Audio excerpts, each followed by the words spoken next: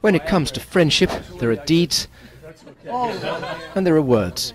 Concerns about the business climate have grown in recent years, with foreign business confronting a more complex regulatory environment and questioning how welcome they are. The answer for some is not welcome enough. A raft of regulation, one thing seen putting US firms off China. China's national security laws on cyberspace and the internet another, those potentially hitting foreign tech companies. And to add more strain to these high level talks in Beijing, there's the macro backdrop.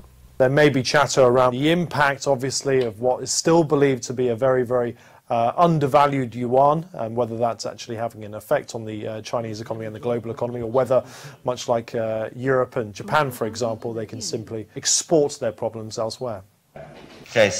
China says it's committed to welcoming foreign business, but the US isn't alone in its grievance. European firms also complain of promises to open up markets made, but not met.